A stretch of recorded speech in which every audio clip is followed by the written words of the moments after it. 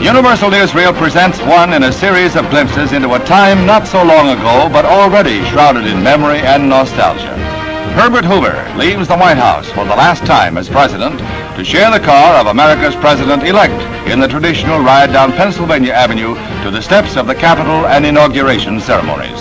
A nation in the depths of economic depression had elected its first Democratic chief executive in 12 years, Franklin Delano Roosevelt, whose spirit and eloquence restored the hopes of 140 million Americans. So first of all, let me assert my firm belief that the only thing we have to fear is fear itself. Deal was proclaimed a social revolution to lead the nation out of a Great Depression. A bank holiday in effect two days after FDR's inauguration was the first measure to halt the drift towards economic chaos that had begun with the crash of 29. One immediate result, not enough ready money to go around, as if there ever was. One joker out in Oregon was up to the situation with genuine handmade depression dollars.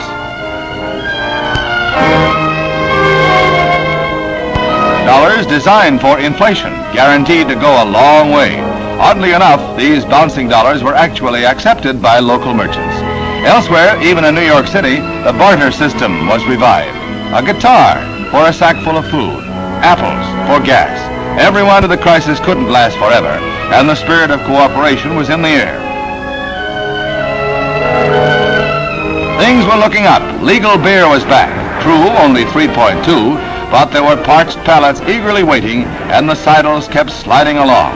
Beer was back after 13 years, a long time between drinks. More than one bank that had gone bust found itself housing a business with more liquid assets. The erstwhile Temple of Finance lost moral tone, but over-the-counter transactions picked up marvelously. With legal beer back, could prosperity be far behind? Undreamt of social upheavals were in store. Who knew then what would come of women in bars and sack dresses? Tomorrow was tomorrow. This was 1933.